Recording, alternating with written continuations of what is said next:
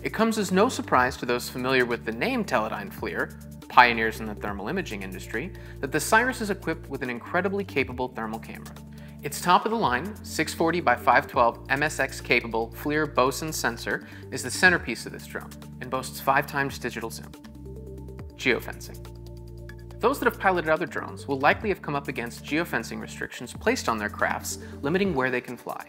With the SIRAS, the responsibility of where and how the drone is operated rests solely on the pilot's shoulders. If you're in public safety or are a service provider, the ability to operate legally when and where you need to should be in your hands, not the manufacturer.